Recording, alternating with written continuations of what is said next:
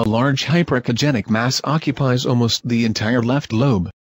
The lesion is composed of multiple smaller hyperechogenic and moderately hypoechogenic nodules.